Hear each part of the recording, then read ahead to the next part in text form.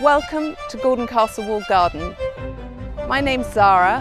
Very excited to have you on board with us to learn how to grow your own cut flowers. Welcome to the start of your Grow Your Own Vegetable course. My name's Ed and I've spent the last 20 years learning how to grow all these amazing plants and hopefully I've learnt a thing or two that I can pass on to you.